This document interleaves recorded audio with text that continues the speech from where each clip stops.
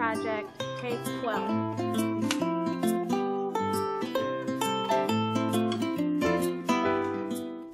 I'm Susie Schaefer. I'm the pastor of St. John's Episcopal Church in Clinton, Michigan, and I'm a member of the Young Clergy Women Project. My favorite traditional hymn is There's a Wideness in God's Mercy. My favorite contemporary hymn is U2's Magnificent.